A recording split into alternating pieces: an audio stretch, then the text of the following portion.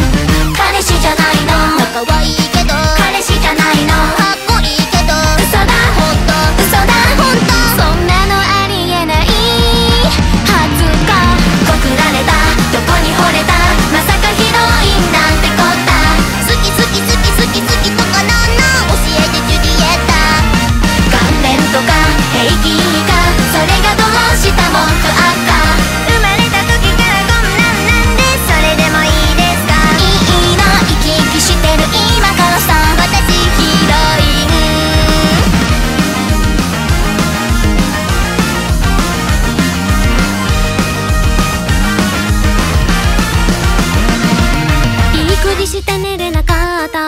目の下にできたひどいクマ友達とファミレス会議。贅沢だと怒られた。告白されてしまったら友達じゃなくなるのかな。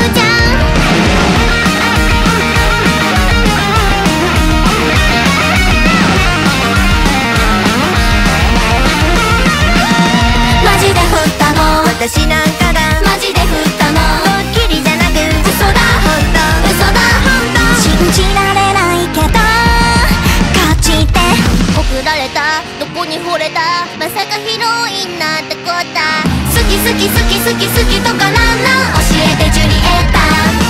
顔面とか平均にか。それがどうした文句あった生まれた時からこんなんなんでそれでもいいですか？いいな。生き生きしてる今こそ。